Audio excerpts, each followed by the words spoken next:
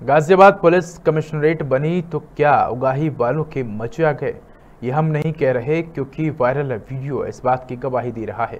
इसके बाद ग्रामीण गाजियाबाद डीसीपी ने इस पूरे मामले की जाँच बैठा दी है। गाजियाबाद में वायरल ये वीडियो देखिए।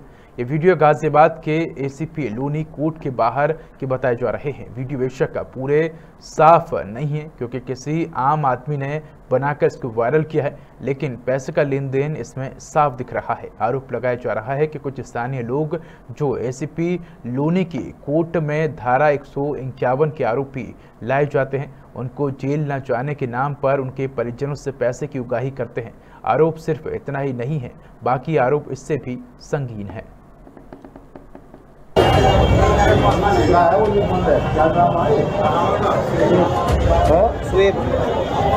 तो देखिए, इस वायरल वीडियो का एक संज्ञान लिया गया है और उसमें जो वीडियो में जो दिख रहे हैं, वो वकील के मुंशी हैं, वकीलों से भी पूछताछ की गई है और मुंशियों से पूछताछ की गई है और ये पूरे सभी समग्र पहलुओं की जाँच के लिए ए सी लोनी को बोला गया है और उन्होंने जो अभी तक की छानबीन और पूछताछ से उन्होंने जो चीज़ें निकाली है। उसमें ये है कि वो वकील अपनी फ़ीस के लिए, जो उनके मुंशी हैं, उनसे नेगोशिएट कर रहे हैं और जो है उसी में कुछ लोगों की कहा सुनी हो रही है।